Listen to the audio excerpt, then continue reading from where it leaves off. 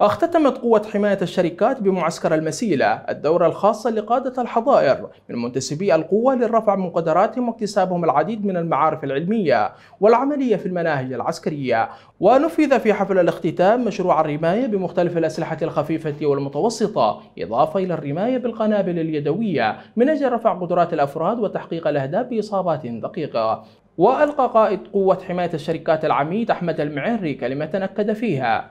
إن التدريب المستمر منهج اتخذ في قوة حماية الشركات لاستمرار كفاءة هذه القوة التي تحمي مقدرات حضرموت.